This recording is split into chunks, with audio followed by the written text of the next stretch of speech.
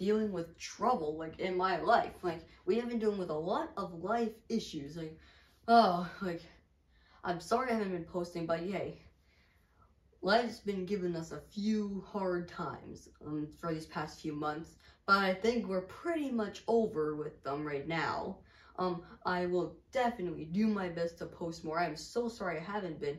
Um, with the um, so I will try and post more. I promise. Like, um, if I don't, like, there are other things going on in my life. I, my life's not just YouTube. If you didn't know that.